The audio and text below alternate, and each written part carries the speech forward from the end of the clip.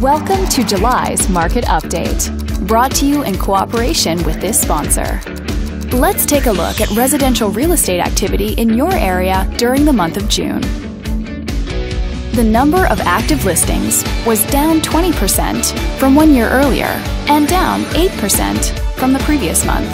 This smaller inventory means that buyers who waited to buy may have had a smaller selection to choose from.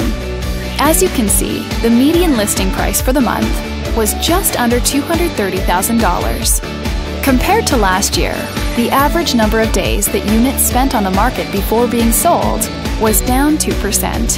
This lower number of days may signal a positive trend in the local inventory turnover rate.